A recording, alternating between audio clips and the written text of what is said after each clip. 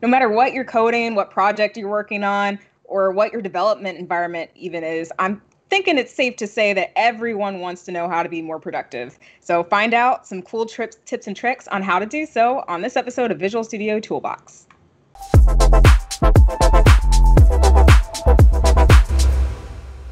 Hey everybody, welcome to Visual Studio Toolbox. I'm your host, Leslie Richardson, and today I am joined by Mika Dumont, who is a PM on the .NET team.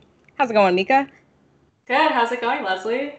It's going all right. It's a lovely sunny afternoon in Seattle right now. It is. So, yeah. so, so you're a PM on the .NET team, which is such a broad, giant team. .NET is so huge, especially in Visual Studio world. So can you talk a little bit more about what it is that you do? Yeah, um, so I'm a program manager on the .NET team, and my team, uh, what we try to do is we try to make developers, .NET developers, uh, as productive as possible. So whether that's you know different code fixes or refactorings, um, as well as different like code generation and completions and tooling, uh, we just try to you know give you um, all the productivity features in order to uh, supercharge your developer productivity. I love that word, supercharged. yeah. So, speaking of productivity, that's what we're going to be talking about, right? Yeah. And um, Leslie, since uh, you work on the debugger, I thought that I can go ahead and start with our debugger refactoring. And awesome. so I'm going to go ahead and share my screen. And there we go. And so the uh, very first feature that I wanted to show, again, um, is this brand new. It's a refactoring where you can pin properties pro programmatically in your code by adding this debugger display attribute. Oh, I love that attribute.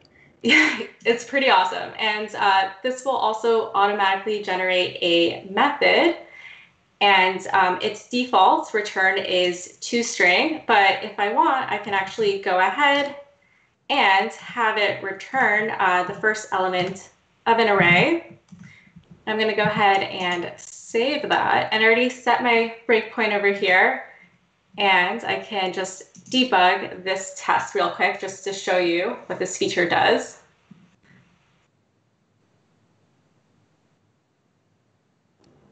So you already get 50 bonus points for me for starting your yes. demo out with debugger display or just anything debugger related. So congratulations.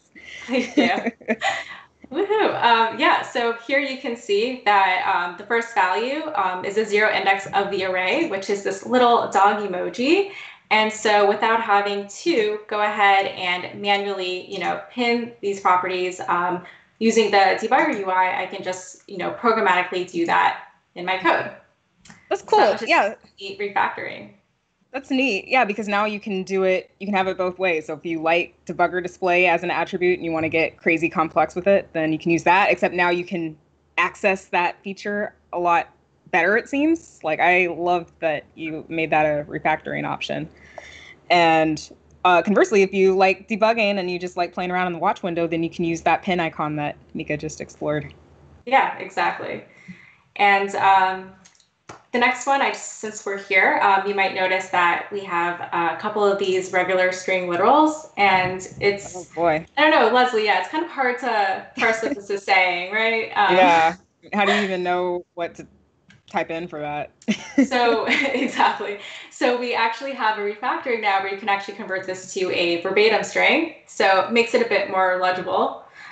And uh, if I want, I can also uh, convert it back to a regular string.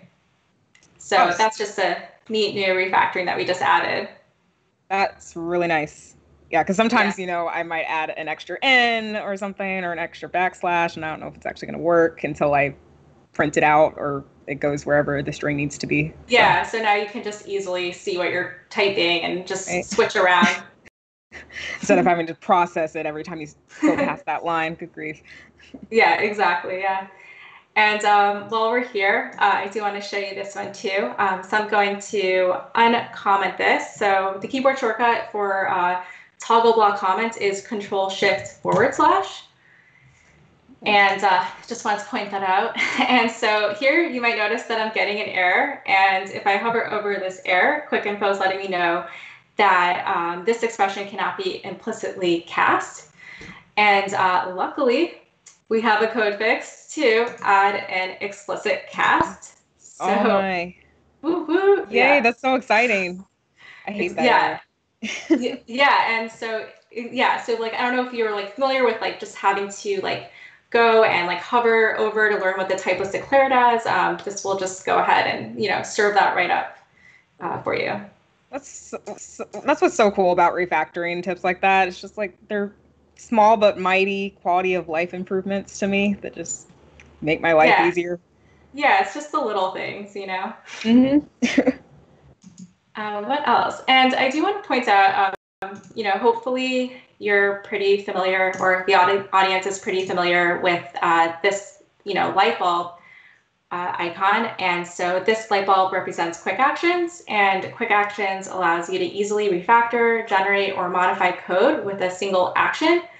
And uh, I can go ahead and invoke this by either selecting the light bulb icon, or I can just, you know, type control period or alt enter, and it'll also invoke it. And uh, this, you know, latest refactoring that we have is converting a switch statement to the new C Sharp 8 switch expression. And so this will just go ahead and, you know, provide a more. Look at that. yeah, it's like magic, exactly. And so this will just go ahead and, you know, provide a more concise syntax without having to like write out the returns um, in each case. Right. Sweet, saves you a lot of trouble. Yeah, and it also just helps you learn about you know new C sharp language features too. So it's pretty cool. And uh, I don't know if you noticed all of these XML comments over here. yeah. Always fun to write whenever you need to explain what a given class or method does. Yeah, and um, we actually now have a quick info style support for XML comments. So if I go ahead and hover over this class, you will notice that Quick Info will display uh, italics, bullets, numbers, bold, and uh, clickable link. Oh, so it's really cool. and uh, while I'm talking about XML comments, um, over here you can see that this dog card is inheriting from this animal card class. And let's see, if I go ahead and add this inherit doc tag, um, you will see that um, dog card now will inherit from the, you know, from its like from different base classes or interfaces. Just depends like where you want to add that inherit doc tag. And so this just eliminates, you know, the unwanted copying and pasting of duplicate XML comments, and it will automatically keep your XML comments synchronized. So yeah, that's pretty sweet. So before that keyword existed, uh, you'd have to remember to go back to like the base class and update accordingly. Yeah, you would just have to like copy and paste them in here or if you wanted to like remember. Yeah. Yikes! Yeah. Time saver. Yeah, I'm trying to think what else I have that I can show you. Um, oh, so over here, let's see. Oh, here's a good one. I noticed how I have comments just to remind me of all these I do that. I do that too. I write demo in big bold letters. yeah, exactly. totally natural. Don't worry about it. yeah. Um, so so anyways, yeah, this ternary condition. Uh, it's you know ternary conditions can be great, but sometimes at the end of editing some logic, you realize things could be a bit simpler. There's a lot going on here, you know. Yeah. And uh, I always have. I feel like I always have to go on Stack Overflow and look up what does this mean again? Like what what part is the else statement? Which part is this? Yeah. Yeah. Exactly. And you know we just want to make things you know. Um, easier to read and um, we just want our code to just be easily read and consumed. So we do have this uh, code fix to simplify conditional expressions. Mm. And that just makes it so much oh, Yeah. Like, can you believe that oh. they both meant the same thing? Right? yeah. It's like, you mean I just spent five minutes deciphering this just to find out? yeah. Like, did your brain hurt a little bit? My yeah. it's like, it's 2 a.m. I'm looking at this code. yeah. So those are just some of the latest code fixes and refactorings. And next, I want to show some tooling improvements. This one's actually my favorite one. Uh, so this is, um, there's like tons of excitement from the community about this one. And um, so we pretty much we added IntelliSense inside datetime and time span uh, literal strings. So in this piece of code, I'm taking a datetime and I'm calling toString on it. And if I start typing uh, a datetime string literal, mm, you will notice. This? Yeah, I'm getting I, suggestions. Yeah, these are completion options and explanations as to what, what each of these characters mean. So you can see here, this is what it looks like. So it's pretty, so pretty useful. snazzy. Yeah.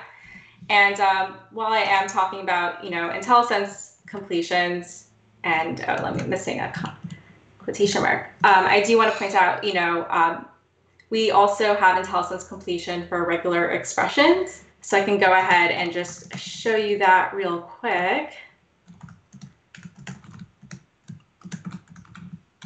Let's see. So here I'm just going to write a regular expression. Mm -hmm.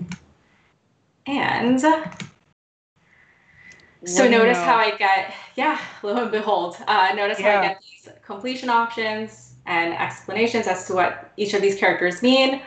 Uh, what's really cool too is that I also uh, get a tooltip. So uh, Quick Info will actually let me know if I'm missing, like I'm missing my closing, closing parentheses.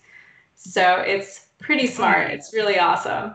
This seriously would have been so useful to me a couple months ago when I was writing a calendar app and writing date formats everywhere and trying to look up what format I needed to be using. yeah, like, and oh my yeah. Goodness. I actually remember that calendar app that you showed right? me. yeah. it's a great good times, good times. Back in time. five years ago in March. I know it's it feels like forever ago. It's crazy. Yeah. Um, but yeah, um, so these are just nice inline experiences that we offer instead of having to, you know, go to the browser and learn how all of this works. So, sweet. Yeah. Let's see. I have another uh, another tooltip. So um, we've had, you know, change signature for a long time, where you can go ahead and, you know, reorder parameters or remove parameters. Uh, but we just recently added the capability to add a parameter. So here I can go ahead and add the type as well as the uh, parameter name. Um, I can also make this required or optional with a default value. And um, I can decide what I want to inject into the call site. And I can also introduce, you know, to-do variables. So this will basically put a to-do in my code so I can like visit those errors and go through each call site independently and decide what needs to be passed. That's awesome. Yeah, and for um, optional parameters, I can also uh, choose to, um, you know, I can choose to omit the call site completely. So it's pretty cool. And once you select OK, you will see uh, a preview of the new uh, method signature and you will see uh, that this is the new parameter. So it's pretty awesome. This is like one of our highest requests from from the community. So we were really excited to get this one out. That's really great. So I especially like the adding the to-dos just automatically instead of having to remember where you call this function everywhere. That's pretty nice. Yeah, it's a it's a pretty awesome new feature. Um, let's see. Oh, I have another one real quick too that I want to show. So um, so we added file header support, and um, this allows you to add file headers to existing uh, you know, files within a project or a solution using an editor config. Uh, so this is an editor config file. For those of you that don't know, it's a uh, single file that documents all of your code style or code quality options that lives at the root of your repository and can be managed by a regular source control and shared across your entire team uh, so you can think of it as a universal way of, encode, of enforcing code style and code quality preferences across your team. Sweet. Uh, yeah, so it's pretty cool. And so here um, we have this file header template, um, and you would just have to set the value to equal the file header that you text that you would like to get applied to your uh, C Sharp or Visual Basic files. This currently only works for C Sharp and Visual Basic. And um, if you go to the first line of your file, you can go ahead and select this file header. So oh, it's, sweet. yeah, it's pretty awesome. And not only that, I just want to point out a lot of our um, code fixes Um, and even and for the file header feature as well, you can really actually apply all of these fixers to your entire document, project, or solution. So you can scope it however you'd like. So if I want, I can add this file header across my entire Everywhere. project. Yeah, and it will open this preview changes window where I can just, you know, select or deselect uh, which, you know, files I want this to apply to. And you can go ahead and do that. And you can see that it was added and if I go to other classes, you can see that was added too. So it's pretty cool. That's pretty cool. Yeah, yeah. I'm gonna add emojis to all my file headers from here on out too. yeah, that's the only way to write file headers. Yeah, so. really though, spice it up a bit. yeah. So cool. I mean, it seems like there's a lot you can do in that edit editor config window in in general, right? So like, how can people learn more about what they can and can't do in there specifically? Yeah, we uh, well we have like documentation that I can always point uh, users to. Um, we also have for you know all the different code style options. Um, you can go to code style. You can just use Control Q search over there. And here you can actually, it's a little bit easier to understand this UI that we have. And um, you can actually see all the different code style preferences that you want and have it applied to your editor config as well. That's neat. Yeah, and so if you want, you can um, do tabs versus spaces. Oh boy, yep. I don't want to bring anything up. I know there's a lot of controversy there. Um, yeah, and then uh, yeah, so you can just you know enforce these code style and code quality um, options across your team. So if you're like really adamant about tabs, you can just sneak that word in there and then just push your code, and everyone will just have to use tabs. Mm-hmm that's like the dream of being a manager, right? You get to assert your belief of tabs over versus spaces, no matter yeah. what, by accessing the editor, editor config. yeah, yeah. And uh, yeah, and so we're doing a lot of work with this too. So stay tuned uh, with the editor config. So yeah, it's exciting, exciting stuff happening with that. Yeah, it is. And so we have. Oh yeah, go on. Oh, I was just gonna say, speaking of exciting things coming, I mean, it feels like I look away for five minutes and all of a sudden there's like 20 new cool refactoring items added. so what's coming soon in productivity land? Yeah, okay, let me let me show you. Okay, so let's see. So some new features that are coming. Uh, the first one I can show is, so here we have, um, here, let's see, which one should I show first? Um, okay, I can show this one. So there's now a uh, refactoring that introduces the new uh, C Sharp 9 pattern combinators. So over here, if I just, you know, place my cursor and select, um, let's see, use pattern matching, it will go ahead and use those pattern matching combinators. Oh. Yeah, so that's like a new uh, C Sharp 9 feature, or the pattern matching combinators. So it's really exciting. That's really and cool yeah, and uh, another one that we recently just added. So these are all um, coming in 16.8 preview one. So everyone who wants to learn more about it can just check out the release notes as well. And uh, just yeah, and so uh, this one here. Um, so this is we now have like a suppression operator warning and code fix, and this helps you easily identify and fix suppression operators that have no effect. So in this case, uh, let's say in this case, I wanted to express that something isn't type string. Um, and so this operator here makes sense, but it it's not actually um, checking for that. So I we have a code fix where you can either um, remove the operator completely, um, or if you want to actually check it, you can use the is not. That's if you're checking if it's not of type string. Yeah. That's great. So that's yeah, so that's like a new one that we just came out with. And let's see, what else do I have here? Uh, we have a, another one where you can remove the in keyword, uh, where the argument should be passed by reference. So that's just also like a quick little fix too. And I'm trying to think what else. Oh, we have another one. Let's say, here, I can do it. Um, let's say I want to just go ahead and let's see. Um, okay, let's say I want to just create a abstract method. Um, let's see. So over here, you'll just notice that I have an error, and that's because my class isn't abstract. So we have a quick fix to also make a class abstract. And you can see here that Sweet. that wasn't there before? Was added. No. oh, wow. Yeah. Yeah, that just seems some, something that would naturally be, be there. So I'm glad that's there. Yeah. Um, yeah, so those are uh, some of, yeah, so those are the latest code fixes and refactorings coming to 16.8 preview one. That is very exciting. Like serious, there's not a bad one in the bunch from what I could tell you. all, like all these seem super beneficial to anybody who's just coding away no matter what you're working on, which is the cool part about productivity tools like that. Yeah, it's really awesome. And um, I don't know if we have time, but I can also just show a couple in the Solution Explorer that was recently added that are just yeah. really cool. Okay, yeah. Um, so here, um, I have a test project and just for demo purposes, I'm gonna delete um, this reference. So I'm referencing my project here.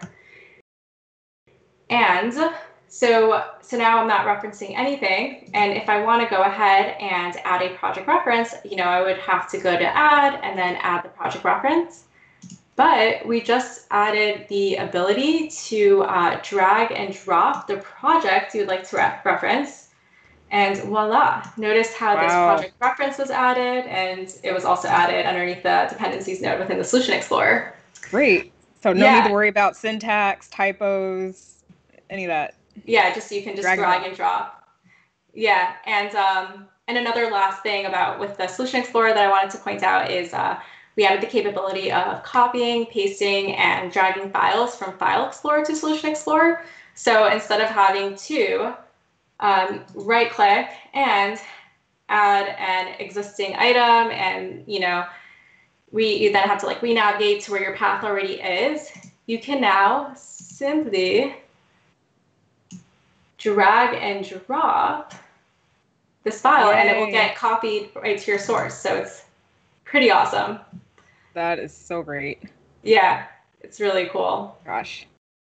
Are those features available in uh, 16.8 or are they They're already now? available. Yeah, they're out now. Oh, yay. Yeah. How exciting.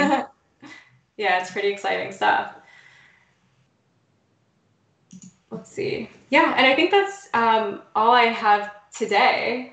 But yeah, definitely uh, check out the release notes and um, also all of our code fixes and refactorings are at aka.ms forward slash refactor code. And so, um, yeah, that's where you can just learn about all these new tips and tricks and you can be the coolest person on your team that everyone goes to like learn right? about them yeah just just sit in your office chair like yeah so did you know you can now drag and drop into the solution file i mean i figured everybody knew but just in case you didn't here you go well, yeah. that's really exciting. I'm gonna have to make a trip to that website too because I keep missing out on all these wonderful refactorings that I should totally be taking advantage of. As yeah, definitely. should everybody. Yeah. so thanks for being here, Mika. That was super informative. I feel supercharged in my experience, definitely. awesome. Thanks. And uh, yeah, and again, if you want to learn more, check out uh, the website that Mika just mentioned, aka.ms slash refactor code. Awesome. Yeah. Sweet. And with that, happy coding.